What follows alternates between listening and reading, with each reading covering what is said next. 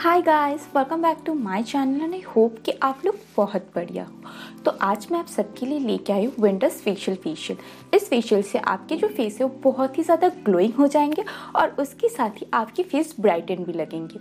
तो चलिए देख लेते कि कैसे मैंने आप लोगों के लिए ये वाला फेशियल तैयार किया। और उससे पहले अगर अभी तक आप लोग मेरे चैनल को सब्सक्राइब नहीं किए तो जल्दी से मेरे चैनल को सब्सक्राइब कर दीजिए और बेल नोटिफिकेशन को ऑल पे कर दीजिएगा, ताकि मेरा जो भी नोटिफिकेशन है सबसे पहले आप लोगों के पास जाके पहुँचे। तो लेट्स स्टार्ट द वीडियो तो फ़र्स्ट ऑफ़ ऑल हम लोग इस फेशियल को बनाने के लिए जो पहला स्टेप करेंगे, वो है क्लेंजिंग प्लस स्क्रबिंग तो इसके लिए जो फ़र्स्ट इंग्रेडिएंट्स लेंगे, वो है राइस फ्लोर यानी कि चावल का आटा। अगर आपके घर में ये अवेलेबल नहीं है तो आप राइस को ग्राइंडर में पीस करके भी इसको बना सकते हैं। और मार्केट में इजीली मिल जाता है। तो मैं पहले यहाँ पे राइस फ्लोर ले ले रही हूँ और उसके साथ मैं इसमें जो दे रही हूँ, वो है टमाटर का पल्प यानी कि मैं आधा टमाटर को काट के फिर उसका जो जूस है, वो मैं इसमें डाल दे रही हूँ। और उसके साथ मैं इसमें जो दे रही हूँ, वो है हनी तो इन तीनों चीज़ों को अच्छे से मिक्स करके मैं अपने पूरे फेस में अप्लाई कर रही हूँ और इसको सर्कुलर मोशन में अपने फेस में वाइप करूँगी। तो हम लोगों ने जो यहाँ पे राइस फ्लो लिया है उसमें प्रेजेंट रहता है लिनोलिक एसिड और ये बहुत ही अच्छा हम लोग के स्किन में एंटी एजनिंग वाला काम करता है। और उसके साथ ही आपके स्किन में जो भी डेड स्किन ड्राई स्किन है, उसे ये हटाता है।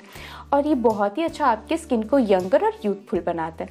और उसके साथ ही मैंने यहाँ पे जो लिया है वो टमाटर। टमाटर में प्रेजेंट रहता है भरपूर परिमाण में एंटीऑक्सीडेंट विटामिन सी जो आपके स्किन टोन को निखारता है और उसके साथ ही आपके पोर्स को क्लीन आउट करता है।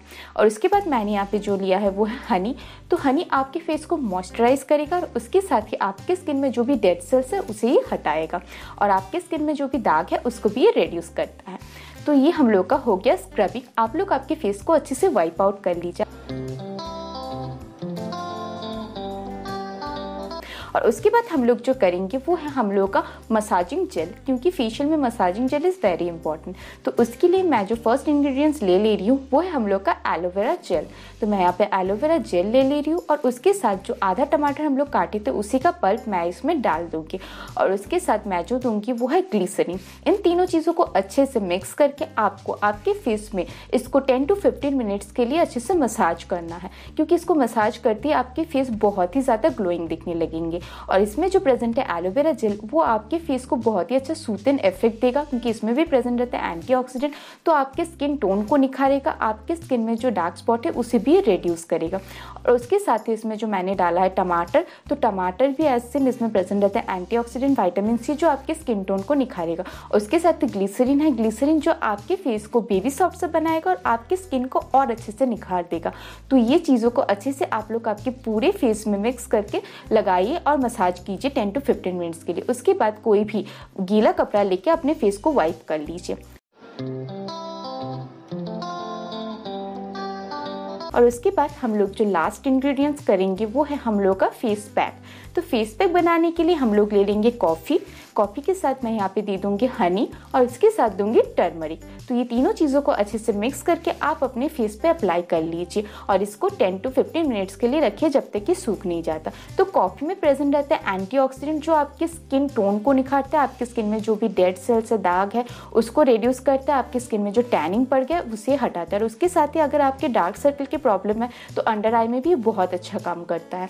और उसके साथ मैंने यहाँ पे जो डाला है वो है हनी हनी आपके स्किन को मॉइस्चराइज करेगा, आपके इस विंटर में स्किन को बिल्कुल भी ड्राई पड़ने नहीं देगा। और इसके साथ जो है वो है हम लोगों का हल्दी, यानी कि टर्मरिक टर्मरिक में प्रेजेंट रहता है कार्क्यूमिन जो आपके स्किन पे एज अ ब्लीचिंग इफ़ेक्ट देगा, उसके साथ ही आपके स्किन टोन को भी निखारेगा। तो इसे अच्छे से लगा कि आप 15 मिनट्स के लिए रखिए, उसके बाद वाइप आउट कर लीजिए। आप देख सकते हैं, मैं जब वाइप आउट करी हूँ, मेरे स्किन में कितना अच्छा सा ग्लो आ रहा है। तो आप लोग भी अगर ऐसा ही ग्लो चाहते हैं तो इस पूरे फेशियल को आप लोग ज़रूर ट्राई करें। और उसके साथ जो लोग की स्किन बहुत ज़्यादा ड्राई है, वो लोग चाहे तो इस विंटर नाइट क्रीम को आप लोग ट्राई कर सकते हैं, जो मैंने ऑलरेडी वीडियो बना चुकी है, आप लोग देख सकते हैं। और उसके साथ जिन लोगों का स्किन बहुत ही ज़्यादा ऑयली या कॉम्बिनेशन स्किन है, कोई भी चीज़ लगाने से पिंपल वगैरह आ जाता है तो वो लोग इस सिरम को यूज़ कर सकते हैं। इसका भी मैंने ऑलरेडी वीडियो डाल दिया। है तो इस विंटर में अगर सिर्फ़ आप लोग यही चीज़ करते हैं ना तो आपकी स्किन आप खुद ही नहीं पहचान पाएँगे। इतना अच्छा ग्लोइंग सॉफ्ट हो जाएगा और आप लोग का जो भी स्किन रिलेटेड इशू है, वो भी बहुत हद तक कम हो जाएँगे। सो so फ्रेंड्स अगर वीडियो अच्छा लगे तो क्या करना है? मेरे वीडियो को एक लाइक करना है, मेरे चैनल को सब्सक्राइब करना है और बेल नोटिफिकेशन को ऑल पे कर देना है, ताकि मैं जब भी वीडियो डालूँ, सबसे पहले आप लोगों के पास जाके पहुँचे। से सो so, मिलते हैं नेक्स्ट वीडियो पे तब तक के लिए be safe and be glamorous bye